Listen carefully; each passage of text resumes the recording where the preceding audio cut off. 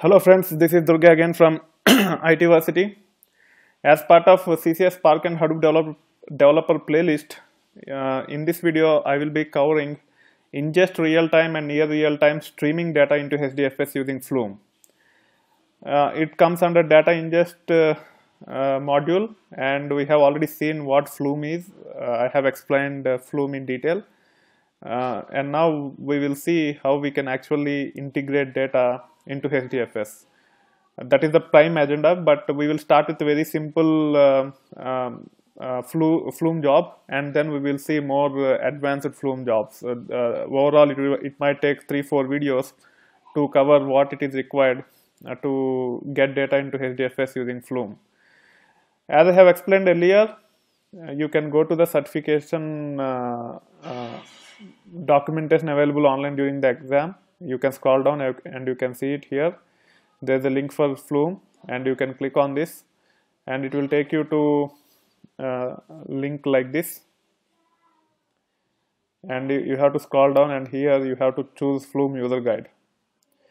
And any agent will have a source channel and sink uh, so that is the minimum you need to have uh, some agents you can have uh, one source multiple channels and multiple sinks. So it uh, I have explained different architectures as well.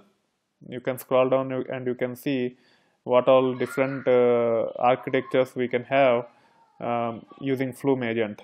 So in this case it uh, the source is one but it has three channels and three sinks.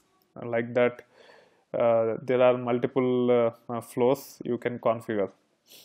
Okay in this case uh, the source is getting from three multiple sinks anyway you don't need to explore all these things for the certification. Uh, for certification the requirement is simple. You just need to uh, uh, be able to integrate data uh, using uh, Flume that is flow, streaming in real time or near real time into HDFS so the sink will be HDFS and the source and channel it can be different um, it, uh, it, it can have different uh, uh, what we say different ways of doing it. So there are multiple ways you can stream data from different sources and we will see those things um, as we proceed further. First we will start with a simple application.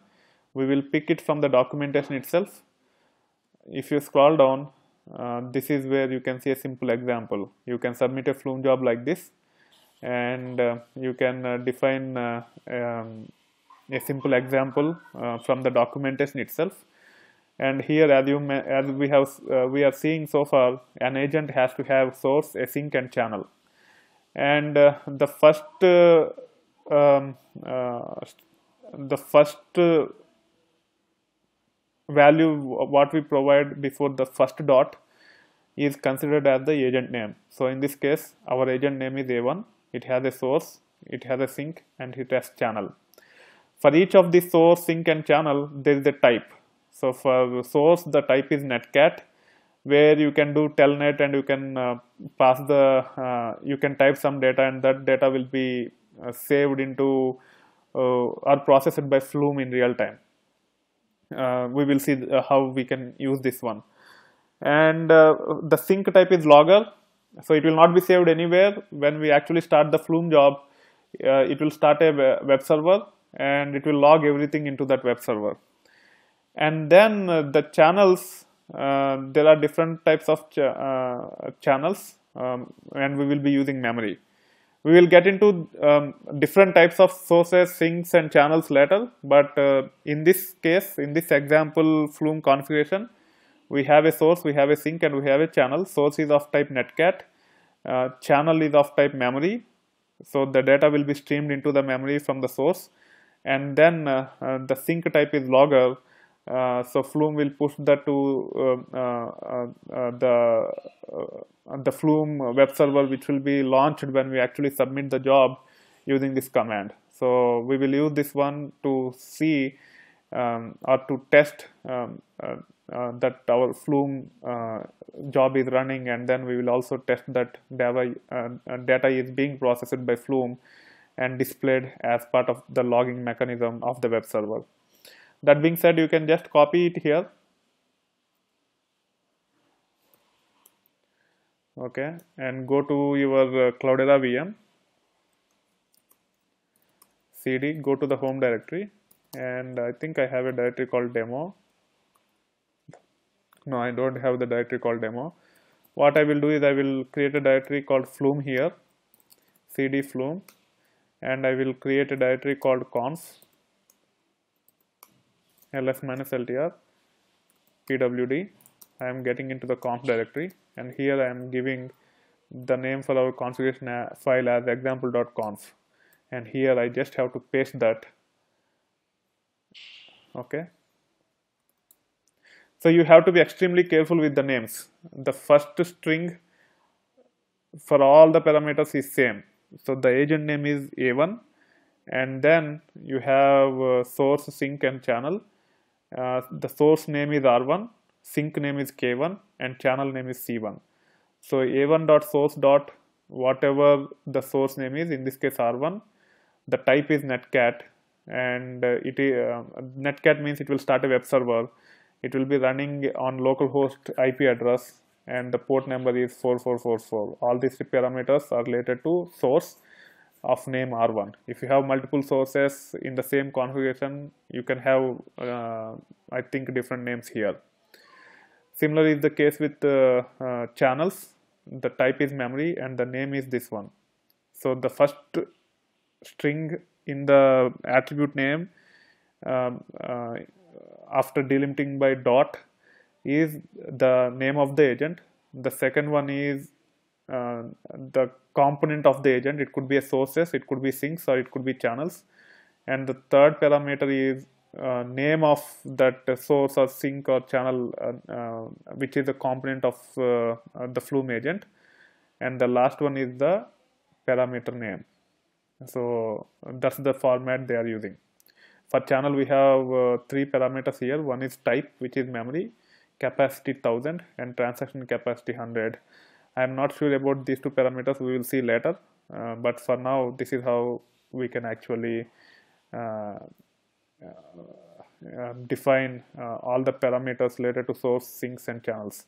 And finally, you need to integrate the source with the channel and sink with the channel, and this is how you can connect. So the channel for source is C1 here, and the channel for sink is C1 so the data that is being read by source will be passed through channel C1 and uh, then that data will be passed through the sink k1 this is how you can actually bind the source and sink to the channel.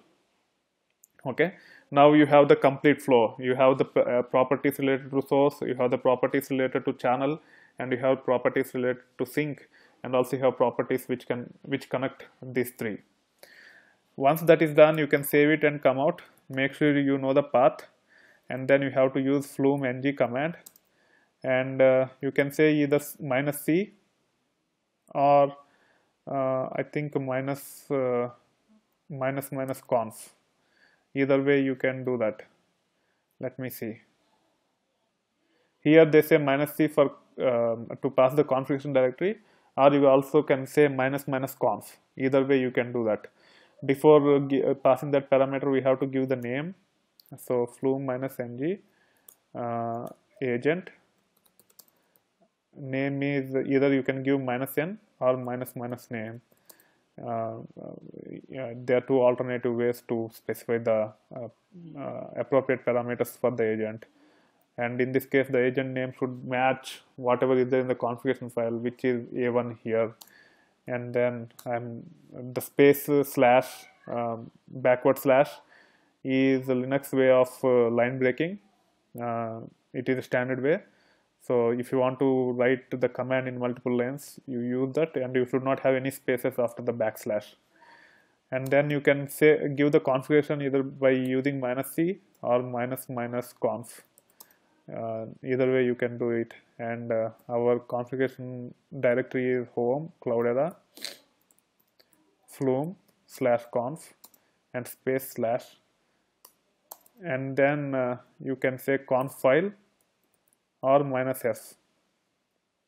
Both are same. I will be using minus minus conf file home cloudera flume conf and example.conf is the uh, configuration file for our uh, agent.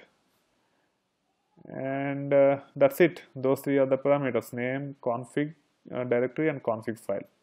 Once that is done you can hit enter and it will launch a, a web service or web server uh, which will be running on 44444 it's a socket. Uh, it will launch a server socket which will be running on 44444 port. Once it is running what you can do is only when it says the server socket is started on this port number you should try this. You can say telnet localhost this is the ip address that is uh, binding to and 44444 is the port number and hit enter. Now whatever you type will be processed by the flume agent by the flume source. It will be passed down to the channel and then it will be passed down to the sink um, which is nothing but logger which will display and uh, uh, the typed information over here. So i'm typing hello world and hit enter. You can see it, it is displayed here. You can type anything now. How are you doing? This is the first flume job which uses netstat for source memory for channel and logger for sink and you can see that information uh, displaying here. It is not displaying completely uh, but it is only displaying some portion of it probably might have to change some parameters to display it completely but uh, this is working uh, so this is how you can uh, start with Flume. Uh, main thing is you need to keep in mind um, how the naming convention should be. Uh, the parameters name, uh, the parameter names should start with the agent name and then dot, and then whether it is a source related parameter or sink related para parameter or channel related parameter, and then you have to give the names in, in once the names are given, um, and then you can define different properties of uh, of those parameters. Now you can go to the documentation and you can explore uh, different types of sources. So what you can do is you, you can search for sources here. You can, uh, so under configuration, so if you scroll down like this, under configuration you have Flume sources it supports Avro source, it supports Thrift source, it supports Exec source, it supports JM source, JMS source, it supports Twitter, Kafka, etc. Most likely in the uh, certification exam, as they're emphasizing on sinking into HDFS, they might give the code snippet which actually reads the data from some source. But you should have at least some knowledge uh, of connecting to few different sources and then process it through channel uh, and into the sink the sink should be hdfs you don't need to explore anything for uh, other than hdfs for the certification. But these are different sources which are supported by flume out of the box. You can also provide custom sources also. And the one which we have used the is netcat.